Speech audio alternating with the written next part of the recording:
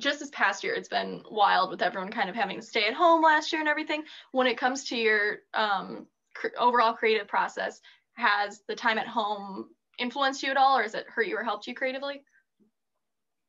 Um, I think that obviously there's been some good bits and some bad bits. The good bits are that um, you know I, I've realized that actually writing songs over Zoom and recording songs over Zoom um, is doable, and it's meant that because that is the you know the norm that I can actually work with even more people who are I don't know based in the US, for example.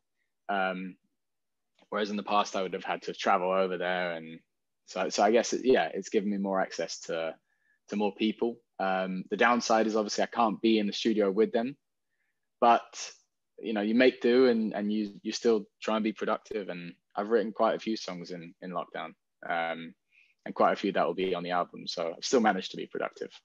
That is amazing. I don't know how you deal with the delays when it comes to production or even writing when you're on a when you're in a flow and it's like delay. yeah, I, I guess you can't jam.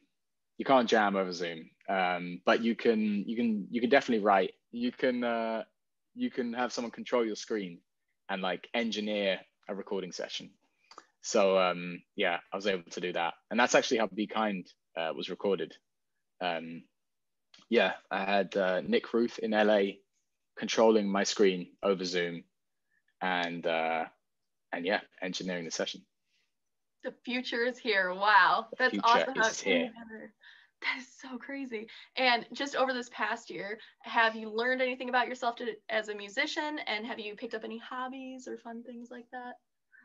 I've, I've definitely um, realized how bad I am at, at piano and guitar. Um, and so, in terms of hobbies, I've, I've played more piano and guitar um, and tried to get better. Uh, and, I, and I actually, hand on heart, can say I have uh, improved um, as a as a um, guitarist and piano player, and I've now gone from bad to average. I'm very proud of. Have you picked up any other like hobbies that are non-music related, or find any shows to binge? uh, chess, chess. Uh, I'm, I've got very into chess. Um, I would say I play every day.